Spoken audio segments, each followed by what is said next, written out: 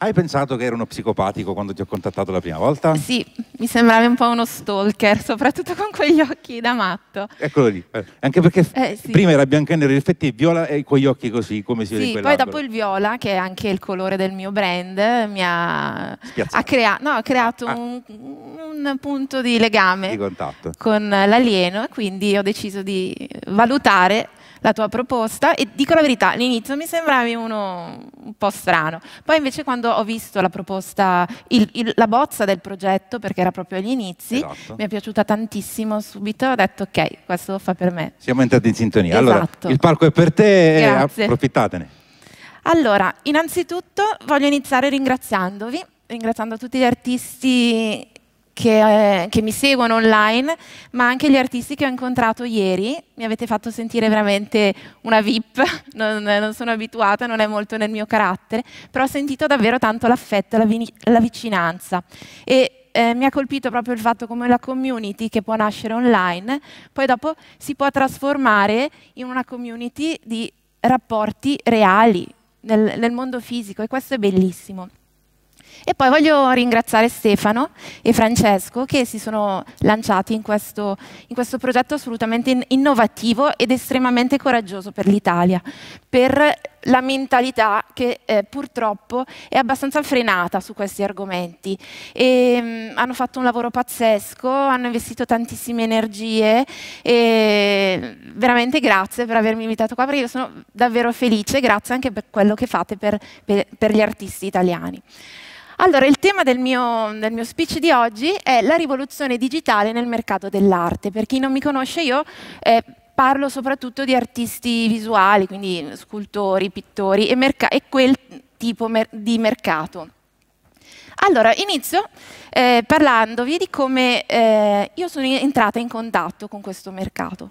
Era il 2015, io ho sempre avuto... No, no, sta pure dietro con, eh, sì, no, resta lì, resta lì. Allora, era il 2015 e uno dei miei sogni è sempre stato quello di diventare una collezionista d'arte. Sono sempre stata una grande amante d'arte, ma nella mia mente c'era un, eh, un preconcetto, un pregiudizio che penso che tocchi la maggior parte delle persone che pensano a questo argomento.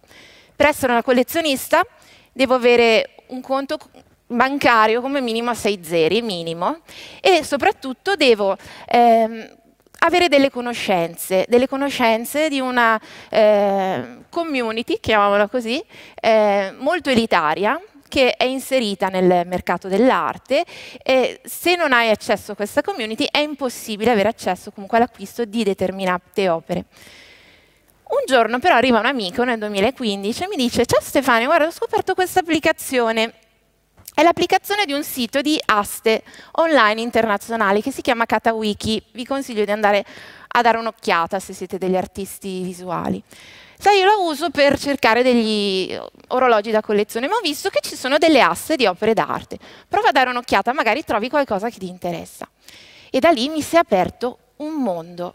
Ho scoperto una realtà che non pensavo che esistesse e mi ci sono tuffata a pesce, ho iniziato a studiare, a fare ricerche e voi sapete bene che quando vi dovete mettere i vostri soldi, cioè ci devo mettere dei soldi per comprare delle opere, l'attenzione sale moltissimo, quindi ho fatto degli studi molto approfonditi e ho scoperto tantissime cose che ho iniziato a condividere con un'amica, una, una mia cara amica che è un'artista ho iniziato a parlare, ma fai così, guarda, ho visto questo artista che fa cos'ha, eccetera, eccetera. E dopo un po' lei mi ha detto, Stefania, ma perché queste cose non le condividi con gli altri artisti? Ci sarebbe un gran bisogno di queste nozioni in Italia. Infatti ho fatto qualche ricerca e effettivamente ho visto che in Italia nessuno parlava di questi argomenti. Allora ho detto, mi ci tuffo, piatto ricco, mi ci ficco, sono la prima e farò subito un gran successone. Avanti, per favore. Ok. Quando ho iniziato nel 2018, due anni fa, ho aperto Artist Coaching, che è semplicemente un blog, una community online che ha come obiettivo quello di condividere con gli artisti quali sono le opportunità che il web, il mondo dei, soft, dei social offre ad un artista per farsi conoscere, ma soprattutto per vendere la propria arte. E quando ho iniziato a propormi al pubblico, sono stata nei primi mesi mi piace usare questo termine, asfaltata, proprio mi hanno disintegrato. Chi di voi conosce un po' il, mercato, il mondo dell'arte italiano, sapete che c'è una grandissima diffidenza nei confronti di tutto ciò che è virtuale, digitale, okay? c'è una mentalità per cui una delle cose che mi veniva detta spesso è che online non si, non si trovano i veri artisti, ma solo artisti di serie B. Chi si rivolge al mercato online è un artista che non ce l'ha fatta e che quindi cerca una soluzione di ripiego. Un vero artista non venderebbe mai i suoi lavori online e i veri artisti non hanno bisogno di, di, utilizzare i social media per parlare di sé. Perché? Perché nella mentalità italiana eh, c'è ancora questa convinzione che l'artista non deve parlare, l'artista deve essere una figura quasi mitologica, irraggiungibile, e deve essere il critico che parla per lui, il gallerista. Se l'artista parla di sé, vuol dire che si sta svalutando. Non parliamo poi di soldi, guai ad associare opere d'arte e denaro. È, è una bestemmia. Allora, se non possiamo associare opere d'arte a denaro, regaliamole le opere d'arte. C'è qualcosa che non va. Queste sono le cose più carine che mi hanno detto. Qualcuno del settore si è firmato dicendo di essere una persona del settore all'inizio mi diceva come osi dire queste cose? Sei la vergogna della categoria, stai facendo un danno.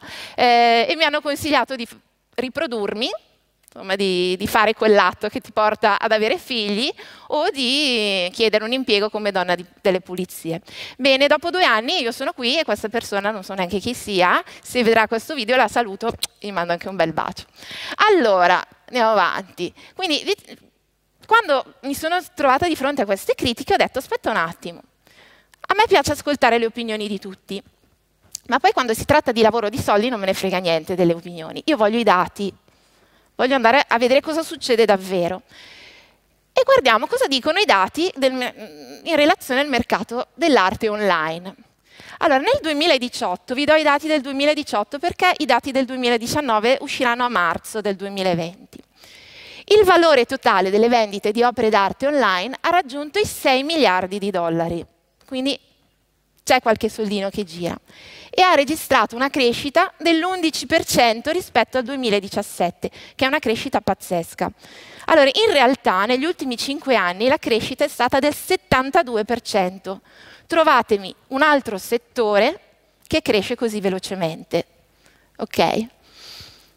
Allora, dicevano no, ma online vendono solo gli artisti sfigati. Allora sono andata a vedere, vediamo Christie's e Sotheby's, che sono le due case d'asta più famose al mondo. Come si relazionano rispetto a questo mercato? Ebbene, si sono tuffate a pesce in questo mercato. Christie's ha, ha fatturato nel 2018 250 milioni solo attraverso le vendite online e Sotheby's, poverina, solo 220. Quindi, non so se conoscete queste due case d'asta, di che tipo di artisti parliamo? Il top del top al mondo, sia di contemporanei che di artisti del passato. Quindi abbiamo già eh, confutato eh, le tesi di chi comunque all'inizio mi criticava. Andiamo avanti. Allora, online che cosa si vende? Patacche? Artigianato? Ebbene, vediamo che l'anno scorso, se prendiamo tutte le opere d'arte che sono state vendute ad un prezzo superiore al milione di dollari, l'8% è stato venduto online. Considerate che nel 2016 nessuna opera al di sopra del milione di dollari era stata venduta online. Quindi capite questo mercato come si sta muovendo? Vedremo nel 2019.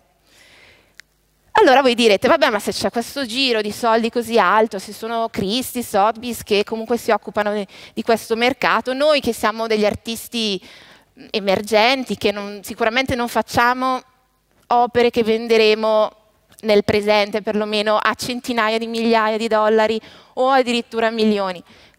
A noi cosa interessa? Interessa moltissimo, perché la grossa fetta del mercato dell'arte online, quindi di quei 6 miliardi che vi ho detto prima, spetta a opere che vengono vendute ad un prezzo inferiore ai 5 mila dollari. Quindi dalle poche centinaia di dollari o di euro vabbè, a poche migliaia. Quindi è il mercato che interessa a noi. È un mercato favoloso. Appena io l'ho scoperto ho detto, caspita, qui c'è da divertirsi. Avanti. Allora, perché questo mercato sta crescendo così tanto? Perché stanno cambiando i collezionisti. Chi era il collezionista una volta? Era la persona facoltosa, che aveva quindi una, una certa disponibilità di denaro, che aveva delle conoscenze a cui non tutti potevano accedere, anche proprio a livello di rapporti, quindi conosco, eh, non lo so, il gallerista famoso, eccetera, eccetera, ok? Adesso la, la, la, faccenda è cambiata, sta cambiando. I collezionisti vengono chiamati collezionisti millennials, cioè appartengono a quella generazione di persone nata tra il 1980 e il 2000, di cui faccio parte anche io. Ed è una generazione amante della tecnologia, abituata a comprare online. io se, se ci penso compro quasi tutto online. E questi collezionisti vogliono che l'esperienza di acquisto di un'opera d'arte abbia le stesse caratteristiche di tutte le altre esperienze di acquisto fatte online. Questi collezionisti non hanno il pregiudizio di dire no, ma comprare online è poco chic. Oddio, perdo i pezzi.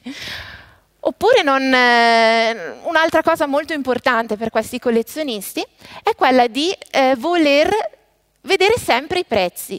Voi provate a pensare, quando comprate un vestito su Zalando, qualsiasi cosa su Amazon, eh, che cosa succede? Vedete subito il prezzo. Fate un clic, mettete nel carrello ed acquistate. Invece, se noi andiamo a vedere quello che succede nel mondo dell'arte, eh, si entra in una galleria, il prezzo non c'è, perché è brutto, poi si chiede al gallerista, abbiamo l'informazione, oppure se si va sul sito di un artista, nella maggior parte dei casi cosa succede? Eh, mandami un'email, con, eh, contattami per sapere il prezzo. Allora, il nuovo collezionista questa cosa non la vuole neanche vedere, vuole subito il prezzo. Sono, sono, stati fatti dei test online, se andate sul mio sito artiscoaching.it trovate tutti i report a cui faccio riferimento, questi dati non me li sto inventando sono tutti documentati. Se prendiamo la stessa opera presentata al pubblico, una con il prezzo, l'altra senza prezzo, quella con il prezzo ha sei volte più possibilità di essere acquistata rispetto a un'opera senza prezzo. In Italia questa è una bestemmia, quindi so che chi, se qualcuno fa, mm, conosce il mercato dell'arte, se qualcuno guarderà questo video penserà che sono pazza. Il resto del mondo non la pensa così. Quest'estate ho fatto un corso per imparare a valutare le opere d'arte presso il Sotheby's Institute of Art, che è la scuola più importante al mondo relativa al mercato dell'arte. Ve lo dico perché eh, mi sono informata eh, da, da, chi è davvero competente, cioè non l'ultimo scappato di casa. E mi hanno dato un testo che, che vi consiglio di leggere, non c'è in italiano, c'è solo la versione in inglese, si chiama The, The Art of Buying Art, l'arte di comprare arte, di Alan Bamberger. E dovevo questo, studiare questo testo per dare l'esame e in una parte di questo testo diceva, se vi capiterà di entrare in una galleria o in un sito di un artista e non ci sono i prezzi, scappate. Questo è quello che si dice al di fuori dell'Italia sulla questione dei prezzi. Qualcuno in Italia dice, ma no, ma non è così, tu prova a pensare di entrare in una boutique di Armani e vedere i prezzi, che brutto, è volgare, sì, si involgarisce l'oggetto. Non è un paragone eh, che sussiste, che può sussistere, perché il mondo della moda e il mondo dell'arte sono diversi su un punto fondamentale, che se io entro in una boutique di Armani vado con piena fiducia, se entro in una galleria d'arte no. Perché poi vi parlerò di altri autori che potete andare a leggere che vi daranno conferma di quello che vi dico. Il mercato dell'arte, per la sua opacità, cioè per il fatto che non si capisce bene come si muovono i soldi, da dove arrivano, se vengono riciclati, se è vero che quando viene venduta un'opera ad un certo prezzo è il prezzo, il suo, valore reale o viene pompato per fare della speculazione. Ebbene, il mercato dell'arte è paragonato a due altri mercati, al mercato delle armi e al mercato della prostituzione. Vi ho detto tutto. Cosa è successo negli anni passati? Che i galleristi, o gli art dealer in generale, se ne approfittavano in questo modo. Io non metto il prezzo dell'opera. Entri tu e mi chiedi quanto, quanto vuoi per quest'opera e ti dico un prezzo. Dopo un po' entra tuo cugino che alla Ferrari è vestito uh, con un vestito di Valentino, gli chiede un prezzo estremamente più alto, ma qui parliamo di cifre estremamente grandi. Quindi a forza di fregature ormai non c'è più fiducia. Chi ha fiducia di, veramente dei prezzi del mercato dell'arte? Veramente poche persone. Come direbbe il mio professore di filosofia, quando entri in galleria devi andare con le mutande di ferro, diceva, proprio molto molto attenti. Ovviamente non tutti sono così, non voglio sparare a zero sul settore, però per colpa di qualcuno non si fa più credito a nessuno, come si suol dire, e quindi c'è questa sfiducia. Quindi bisogna superare questa sfiducia attraverso la massima chiarezza anche nel, nei prezzi.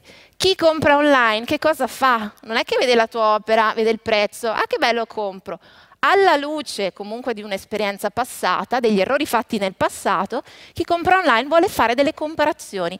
Ma come facciamo tutti? Vogliamo comprare una lavatrice? Non è che la compro subito, la vedo su eBay, la vedo eh, sul sito di MediaWorld, la vedo su Amazon, vedo quanto costa e la, la compro dove costa meno chi compra online non è che fa questo discorso per dire la compro dove costa meno, lo fa, però va, va a vedere altri artisti a più o meno allo stesso livello, oppure va a vedere eh, i record delle vendite precedenti. Comunque se noi vendiamo su piattaforme online, tutte le, le vendite sono registrate, quindi si può fare un'idea del reale valore dell'opera d'arte e sa che non verrà fregato. Comunque, come tutti quanti noi, chi colleziona vuole pagare un'opera d'arte, ma la vuole pagare il giusto. ok? Allora, i baby boomers, cioè la generazione precedente, rappresenta ancora la maggioranza, il 53% dei collezionisti, ma i mm, collezionisti millennials, quelli di cui vi ho parlato, stanno crescendo sempre di più, sono al 36% e sono aumentati dell'8% in un anno, quindi eh, stanno aumentando sempre di più. Questo cosa ci fa? Cosa ci interessa? Cosa interessa un artista? Questo vuol dire che mentre prima erano pochi i collezionisti, pochi con tanto denaro, adesso il bacino di utenza, il bacino dei collezionisti si sta allargando sempre di più. Magari hanno meno possibilità economiche, ma stanno aumentando moltissimo in numero. Questo vuol dire che per voi artisti c'è un bacino a cui accedere grandissimo. Voi pensate, ho ascoltato qualche tempo fa eh, l'intervista al founder di Artfinder, che è una delle piattaforme più importanti al mondo di vendita di opere d'arte online. Funziona anche molto bene, ve la consiglio, se riuscite a accedere perché sono un po' selettivi. E diceva, faceva, parlava di questa cosa, diceva, pensate quante persone al mondo amano l'arte vanno a visitare mostre, musei, fanno dei viaggi in giro per il mondo per vedere un'opera d'arte. Voi pensate che queste persone non sarebbero felici di avere a casa un'opera originale, magari non di Picasso o Modigliani, ma di un artista emergente? Pensate che preferirebbero avere sulle pareti un'opera di questo tipo o una stampa dell'IKEA? Preferirebbero spendere qualche soldo per un'opera di un artista emergente, un'opera originale. Perché non comprano? Perché non lo sanno, non sanno che c'è la possibilità di farlo. Come è successo a me? Io non pensavo di poter crearmi una collezione. Eppure grazie a questo mercato, una volta che ho scoperto per caso questo mercato, ho scoperto che posso farlo anch'io. Ok, questa cosa è una cosa importantissima. Siamo nel allora, si, soprattutto in Italia ci si lamenta sempre che il mercato dell'arte è in crisi e c'è la crisi, non ci sono soldi per gli artisti. Non è vero, ci sono palate di soldi per gli artisti. È pieno di persone che vogliono comprare arte, solo che non li riuscite a raggiungere.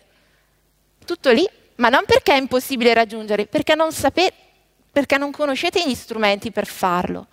Parlo in generale, poi magari qualcuno li conosce. Andiamo avanti. Ah, piccolo aneddoto sull'IKEA. Tempo fa ho conosciuto un artista inglese, sempre online, qualche anno fa, e ho acquistato un suo pezzo per la mia collezione. Ebbene, quest'anno è stato ingaggiato dall'IKEA e se voi andate all'IKEA troverete uno dei suoi poster in vendita, si chiama Kev Monday e ha fatto il percorso inverso lui, va bene. Allora, andiamo avanti.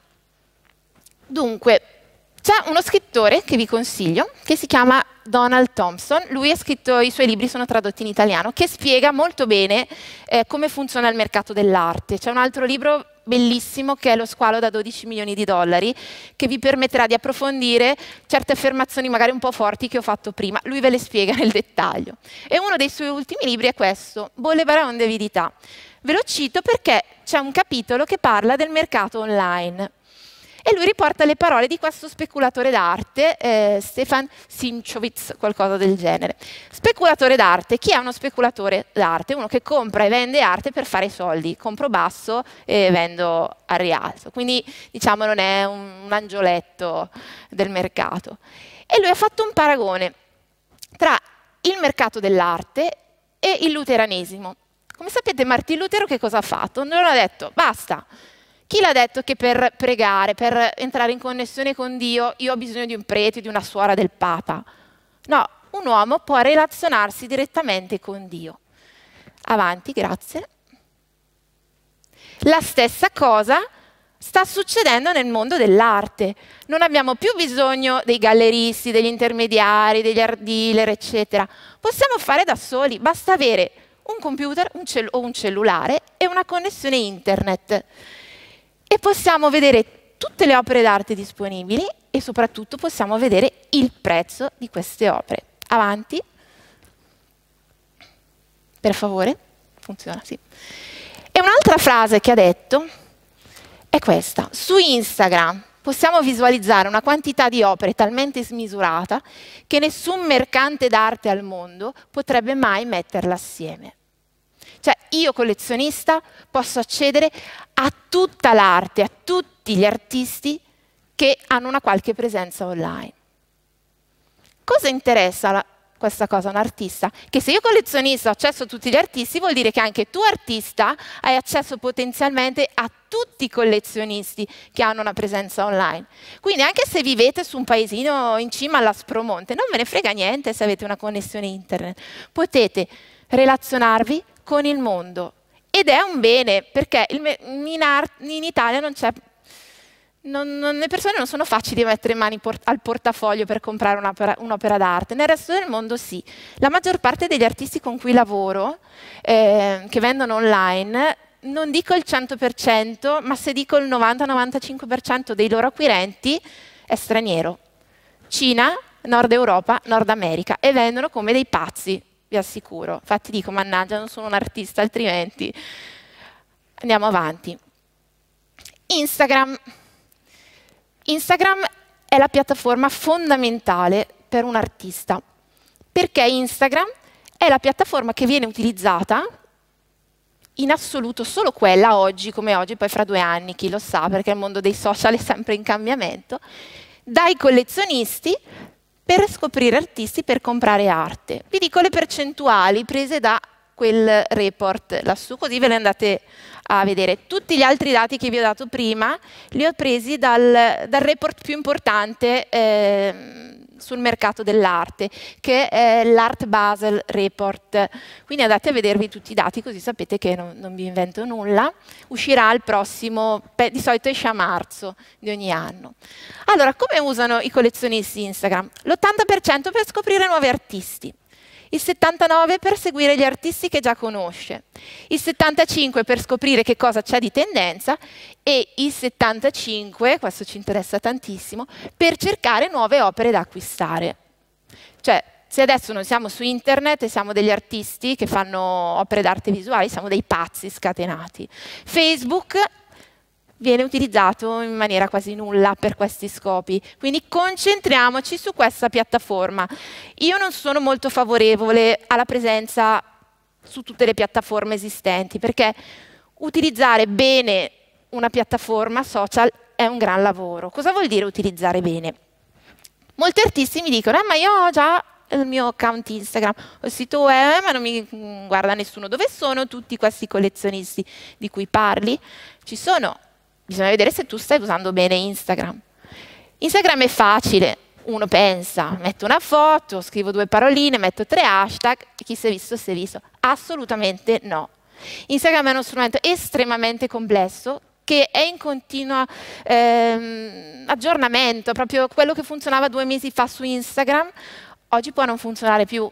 Fino a qualche mese fa andavano tantissimo i famosi bot. Andate a vedere, ci sono artisti che hanno account con milioni di follower, poi basta fare una, una stupidissima ricerca con degli strumenti di analisi e scoprite che sono tutti follower comprati o, o, raccolti attraverso i bot. Non servono a nulla. Uno, fa una figura veramente meschina appena ti scoprono. Due, sei pieno di fake follower che non ti servono a niente. A noi interessa avere anche pochi follower, ma veramente interessati a quello che facciamo Pensate anche solo di avere 2000 follower, di persone a cui piace davvero la vostra arte e solo 100 comprano. Insomma, buttiamoli via, ok? Andiamo avanti, per favore. Ah, vai ancora avanti, anche la prossima. Allora, quindi questo cosa vuol dire? Che alla luce di questi dati ci sentiamo di dire che il mercato dell'arte è in crisi. No, girano soldi a palate, veramente. Solo che l'intercetta chi sa muoversi bene all'interno di questo mercato. Quindi siamo in un periodo che a me piace definire il nuovo rinascimento. Non siamo in crisi, è in crisi un modello di mercato, quello delle gallerie, che stanno chiudendo quasi tutte. Perché? Perché sta succedendo quello che è successo negli altri settori. Che cos'è una galleria? È un negozio che vende oggetti, opere d'arte. Non so se vi ricordate quando eravamo piccoli, in, ogni paesino c'era il negozio del, di chi vendeva scarpe, quello che vendeva i vestiti, quello che vendeva le televisioni, tutti chiusi. Sta succedendo la stessa cosa per i negozi, gallerie. Il mondo, il mercato si sta eh, spostando online, quindi non c'è crisi, c'è solo un cambiamento di direzione. E quello che voi dovete fare è inserirvi adesso in questo mercato, perché è un mercato agli inizi, non è saturo non è che vi dovete svegliare fra qualche anno e dire ma io vorrei, eh, però è già tutto colmo e stracolmo. Se lo fate adesso avrete ottimi risultati, però dovete lavorare bene, dovete, dovete prepararvi, dovete studiare. Mettiamo l'artista al centro adesso di tutto il nostro discorso. Cosa deve fare un artista per sfruttare questo mercato? Innanzitutto la piattaforma social, ve l'ho detto, Instagram. Instagram che che però non deve essere usato come una vetrina, non serve a niente, non gliene frega nessuno. Ci sono miglia, milioni di artisti su Instagram, che, cosa me ne frega di, di, te che ti metti in mostra? Instagram è una piattaforma per creare relazioni, per creare rapporti con un pubblico che si appassionerà della vostra arte e che si trasformerà poi nel tempo in un vostro collezionista. Questo è il segreto di Instagram, è una piattaforma di relazioni. I galleristi come pensate che vendano le opere d'arte? Mettendo, allestendo bene la vetrina, mettendo l'alberello di Natale a Natale? No, creano relazioni. Chi fa bene il gallerista? Adesso vanno di moda quelli che affittano i muri e chiedono cifre esorbitanti agli artisti per esporre senza vendere nulla. Lo scopo di un artista, il lavoro di un gallerista è quello di creare relazioni con un pubblico dare informazioni, creare legami, rapporti di fiducia, per cui poi dopo si, si va ad effettuare la vendita, eccetera. La stessa cosa dovete fare voi. Quindi Instagram studiatevelo bene, investite per studiare, per prendere qualcuno che vi spieghi come caspita utilizzarlo per bene, fare storytelling. Ragazzi, sapete come si fa a vendere? Facendo storytelling, punto. Raccontate la storia della vostra opera, della vostra carriera artistica. Vedrete che le, si, le persone si appassioneranno. Allora non sarete voi a vendere, ma saranno loro che vorranno acquistare. Questo è fondamentale. Poi dovete avere un sito web, mai stare solo sui social. I social non sono roba vostra, i social li controlla chi è a capo dei social, in questo caso Zuckerberg. Vi possono chiudere l'account domani, il social può cambiare politiche, Guardate cosa è successo a Facebook, prima tutti su Facebook, adesso via tutti da Facebook. Ok? Quindi dovete avere un sito web, casa vostra, dove fate quello che volete. È il vostro biglietto da visita, soprattutto quando qualcuno vi conosce attraverso Instagram e dice, bene, bravo, mi piace, adesso metto mano al portafogli per acquistare, prima cosa che farà sarà andare a vedere il vostro sito web. Ma esiste davvero questa persona? Questo artista ha una presenza? Cioè, Posso fidarmi? Sì. E allora poi la persona eh, va a acquistare. Io ultimamente volevo comprare una ceramica, una testa di moro, cosa ho fatto?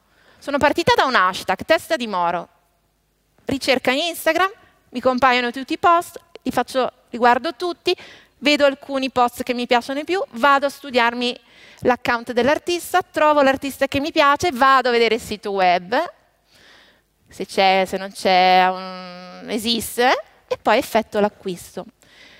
Per effettuare l'acquisto cosa ci serve? Una piattaforma di vendita online, che sia un vostro e-commerce, che sia una piattaforma di vendita, ce ne sono tante, io vi consiglio Katawiki, Artfinder, Saci Art, ok?